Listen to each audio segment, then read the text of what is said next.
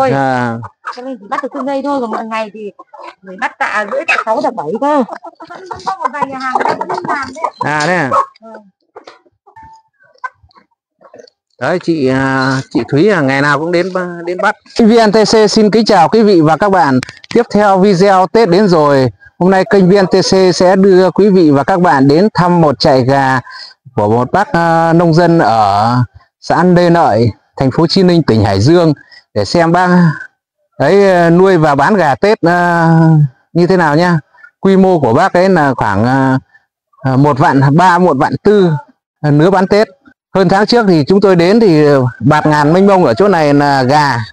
Nhưng đến thời điểm này là hôm nay là 26 ờ, tháng chạp. Và không gian của trại gà của bác đã trống không vì bác ấy đã bán gần hết rồi. Đấy, còn ờ, cái, cái số lượng gà hiện tại thì ờ, chỉ còn khoảng ờ, hai hơn 2.000 con.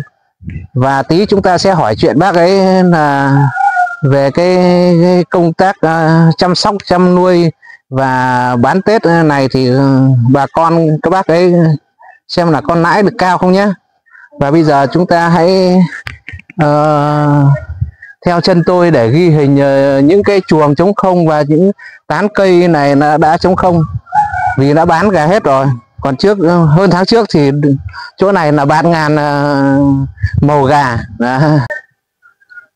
Đấy các bác thấy rõ không? Đây là cái khung cảnh cái cái chỗ khu chăn nuôi, đây là chuồng này. Và dưới là hàng ngày bác ấy thả gà thì là gà sẽ đi lại chạy nhảy ở các cái tán dưới các tán ờ, cây vải rất là rộng, một không gian rất là rộng nhưng mà hiện nay bây giờ đã trống không hết rồi. Vì bác ấy đã bán à, gần hết rồi. Đấy. khoảng hơn tháng trước thì vào chỗ này thì nó đỏ kín một màu màu gà đỏ rực nghìn con như một vạn con như một nhưng mà bây giờ thì đã trống không Đấy, không còn bóng gà nữa rồi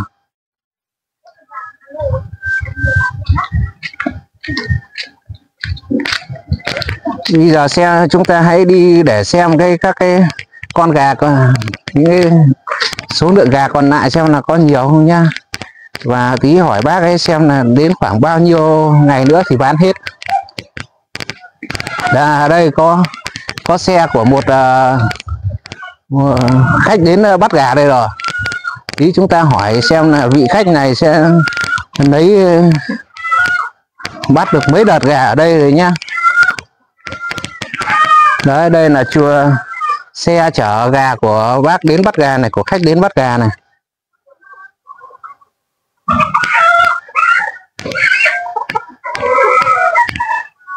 Đây, trước chỗ này là kín đỏ kín đỏ một màu gà này.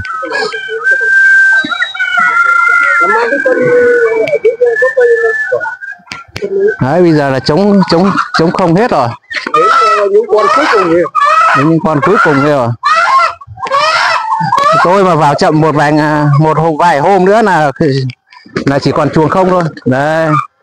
Các bác thấy gà của của bác gần này có như đẹp không? Nghìn con như một vạn con như một. Đỏ màu đỏ rực. Con nào cũng đều tắm tắp con đấy? Và bây giờ chúng ta hãy vào chuồng để xem ờ, ờ, bác ấy còn nhiều không nhá? Mục sở thị luôn. Giờ chúng ta bây giờ vào chuồng nhau nhá. À, đấy chuồng này rộng như thế này mà bây giờ chống hoác hết rồi. Còn vài con này là bắt lốt này hết à, gà hàng này nó gọi là hấp chân à. Đấy, các bác à, khoảng hơn tháng trước thì chỗ này thì các bác không thể đếm xuể là gà. À, mình ờ, bắt đầu là bán là từ khoảng bao ờ, hôm nào nhỉ bác nhỉ? Bán từ hôm ờ, ờ, trước hôm rằm tức là hôm 10 13 14 năm. À thế à? Hôm đấy chết và đấy mà trong có trong vòng có Ờ. ờ, đến hôm nay là chỉ có chục chục chục hôm. ừ. Trong khoảng ờ, chục hôm mà mười, mười mười mấy nghìn con gà đã đã được tiêu thụ hết nhá. Chuồng trống không này. Đấy, để thấy bác ấy nuôi ờ, đẹp và khách đến bắt ờ, rất là nhanh. Mà không nhanh là hết. Khách đến không nhanh là hết không còn con nào ấy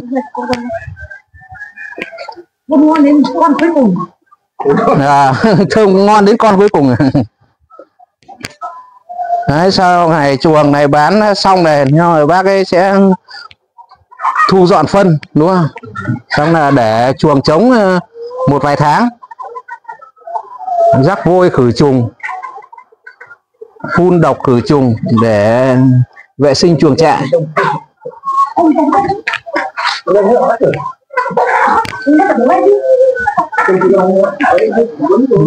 Ờ, tí bác tí bác ấy bác xong mình phỏng vấn. Đấy hôm nay bác ờ, khách đến bắt mà chỉ- còn có vài con vài chục con ở đây thôi.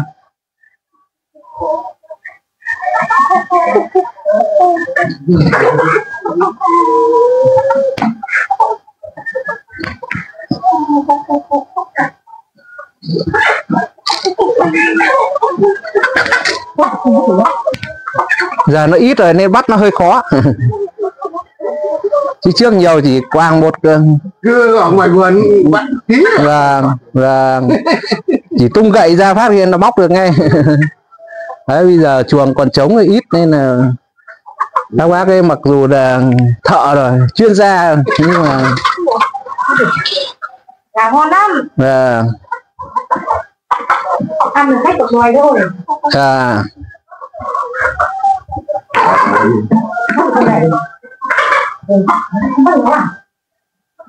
không đầu cho chị ờ, theo chứ lúc vô nè tung móc phát là bắt được ngay. Dạ, à, đấy bây giờ phải thay ca.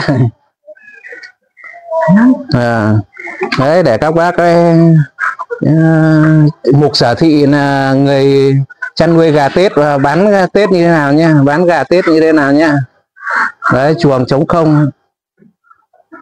Chuồng này bình thường thì ờ, bác nhốt khoảng bao nhiêu nghìn con?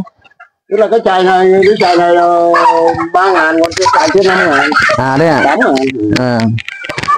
nói cho em cài cái này tí à à tháng này Đoàn đi Bác ra, đây bác. Em hỏi chuyện một chút. Và bây giờ chúng ta hãy gặp ờ, thương lái. gặp thương lái cái. Trong này thôi đấy không? Hả? vâng thôi đúng không ạ Chị ơi cho em hỏi chút. Có được không? vâng Dạ. được chứ sao không được Thế là ờ, ờ, chị đến ờ, đây đây bác chị chị chị ra chỗ này. Chị đến ờ, cho ờ, từ cái hôm mà bác gần bán thì là chị đã ra đây ờ, bắt được mấy lần rồi. à Đây đây đây chị. ngày nào em cũng bắt ạ À thế à? vâng Ngày nào Gà cũng bắt. của ông em tiêu thụ được ngon chất thịt Dạ. ngon và giá thành hợp lý À, vâng cho nên thợ tiêu dùng người ta rất thích cho nên là ngày nào em cũng bắt ờ, vâng mỗi lần bắt thì chị bắt khoảng được mấy mấy chục con, hơn một tạ một hơn một tạ lai che tổ cũng hơn một tạ hơn một tạ một là- một lần. vâng À đây à? Thế là đâu con vừa lấy hàng này thì là chị giao cho đi những đâu?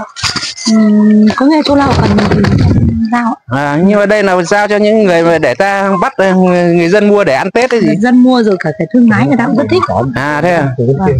À. Nhưng mà, ờ, gà mình là đi những đâu? em à, đi uông bí cầm phá rồi à, có À, à. Thế là năm nay thì ờ, chị thấy gà Tết năm nay so với hơn so với năm ngoái không? Vâng, dễ hơn anh ạ Dễ hơn ạ? À.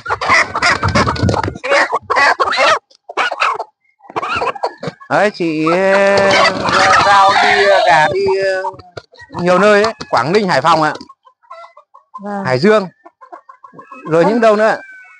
uông bí ạ. Uông Bí, Uông Bí Quảng Ninh rồi. vâng. Uông Bí, Quảng Ninh, Hải Dương. anh ấy cho lên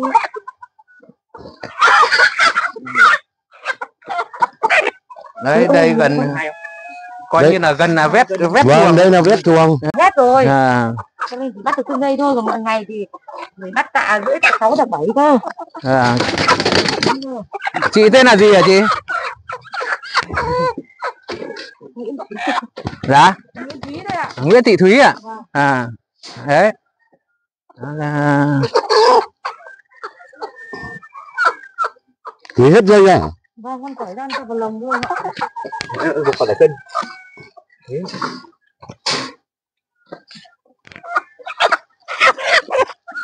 Màu hôm nó đẹp lắm hôm nay còn À. rồi thôi màu hôm nó đẹp lắm đúng rồi à, hôm nó đẹp lắm Phải mã được cả gì à.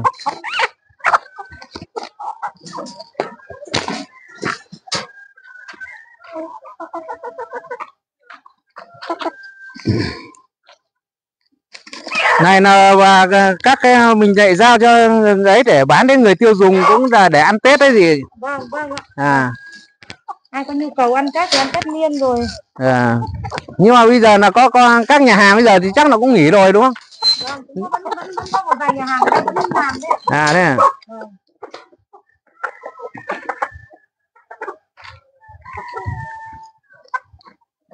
Đấy chị à, chị Thúy là ngày nào cũng đến đến bắt.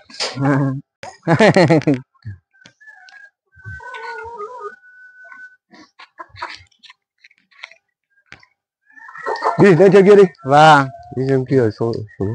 Đây bây giờ tôi với bác ấy lại lên trên xem là những con gà còn lại để bán tết như thế nào nhá. Đây mắc. Coi như là trại này là là là xong. Đấy. Chuồng trống này. Mấy hôm nữa bác ấy sẽ cạo phân đi để cái để này tẩy- này ấy rắc vôi, khử trùng. hai bảy hai tám ờ, sách có nhu cầu đi ờ, cứ vào ừ.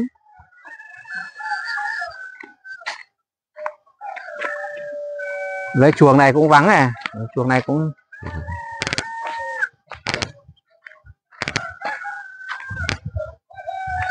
trở lại nhà bác ờ, gần ờ, sau hơn một tháng Đấy, trước còn đây một bao nữa không được tháng trước là chỗ này là dù hai bao thôi dù ba bao là gà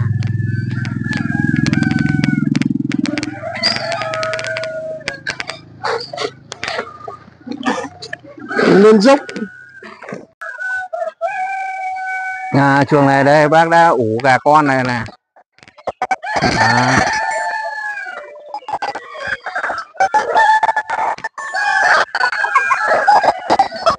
gà nhớ nhớ rồi.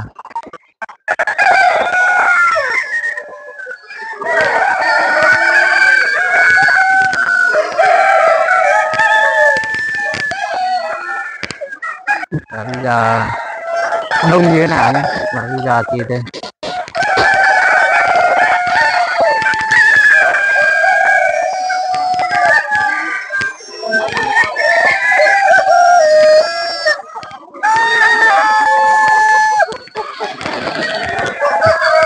bây giờ lên đây lại thấy gà đẹp chưa?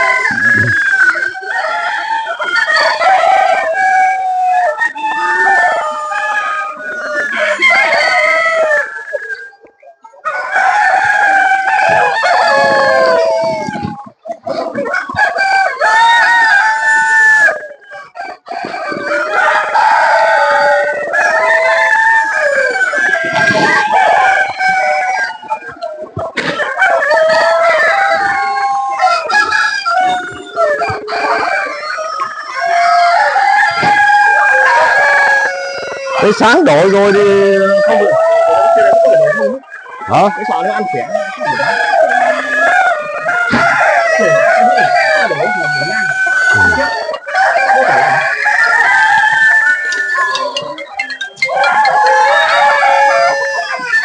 ừ.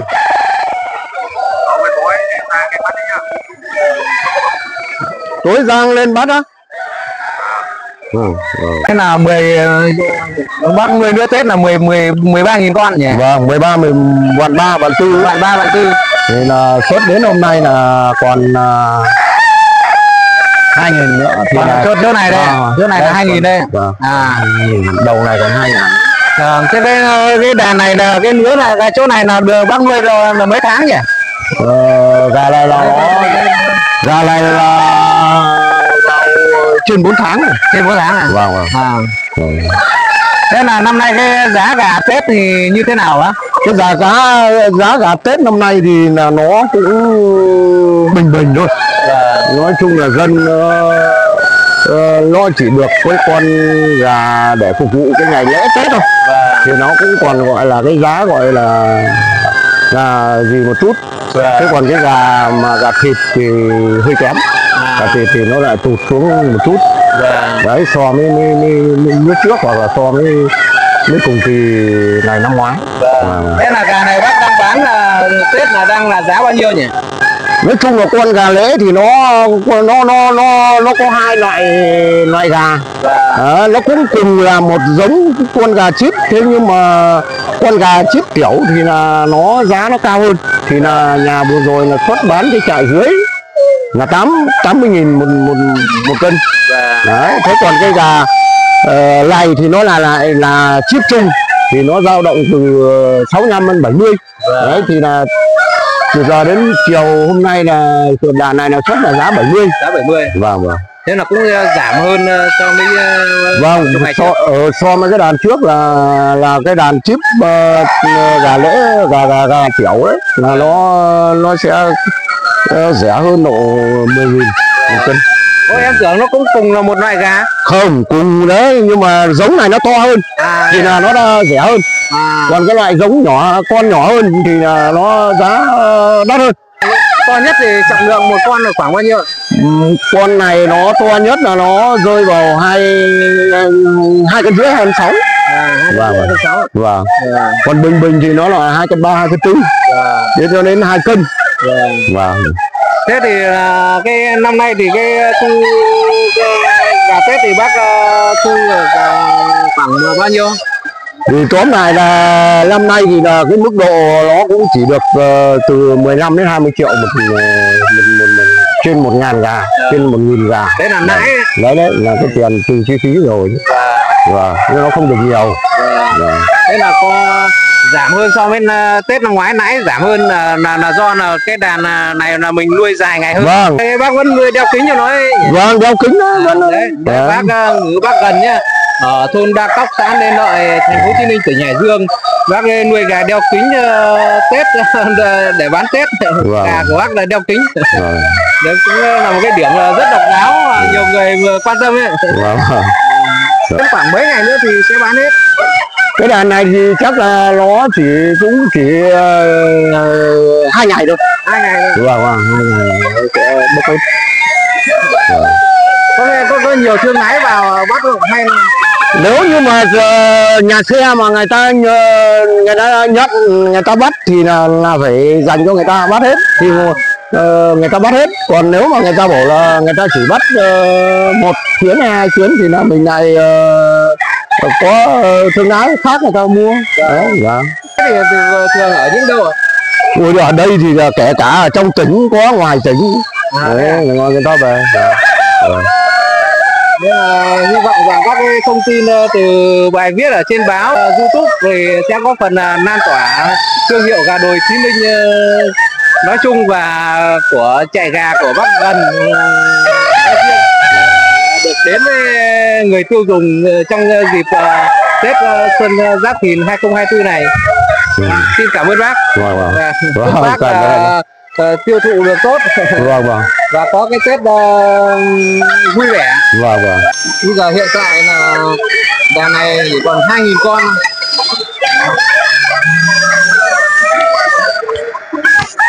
là chỉ khoảng khoảng ờ, hai, ba ngày nữa là bác ấy sẽ bán hết cho cho 2.000 con này.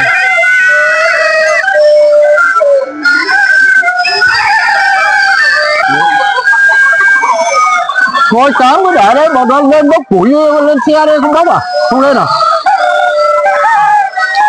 Sáng mới để đấy sợ ăn đến đâu tối chờ, tối mai bán rồi mà. Tối nay xe nó mất rồi.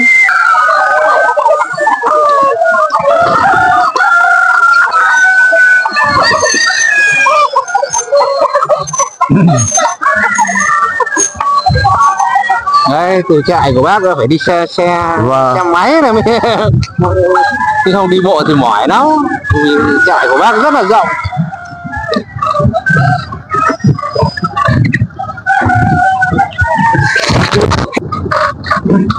Tôi tháng trước vào đây tôi nhìn thì thích đó đấy không ngon làm sao người ta bắt đến con gà cuối cùng. Và Wow. và.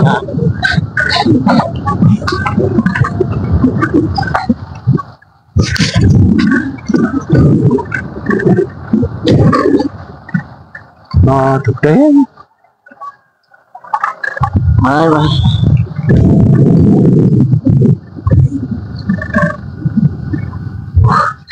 đó thành quả lao động à, không mệt mỏi trong uh, nhiều năm qua.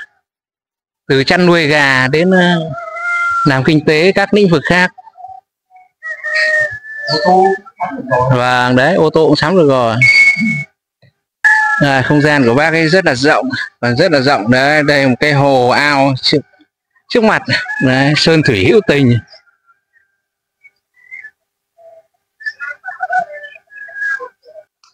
Sau một uh, à, thời gian không dài để vào làm việc với bác thì kênh VNTC cũng à, xin kính chào quý vị và hẹn gặp lại quý vị trong video khác. Bye bye.